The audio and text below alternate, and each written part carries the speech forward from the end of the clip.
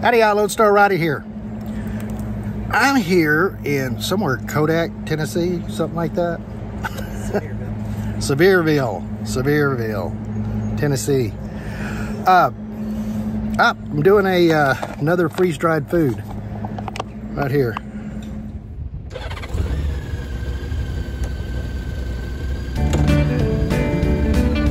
Lone Star Rider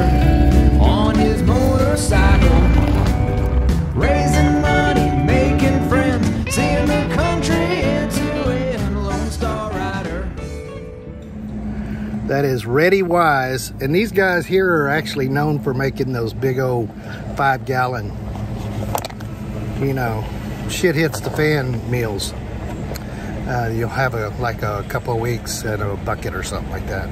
Anyway, this one is creamy pasta chicken with vegetables. And you fix it like you do any other freeze-dried meal. You just take some water, boil it, pour it in. This one takes two cups. And this one I tasted and it reminds me of a chicken soup, actually, which is, it's okay, it's good. Would I buy it again? Maybe not because of the chicken soup. Otherwise, if you like chicken soup, it's probably pretty good. Let's take a look at this. All right, here's this uh, chicken soup right here.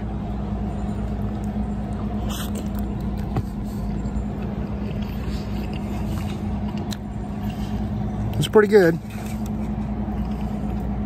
Like I said, it tastes more like chicken soup than a creamy pasta chicken.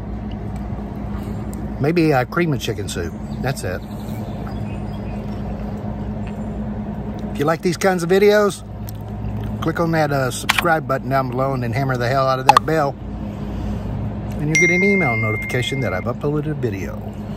Catch you on the road.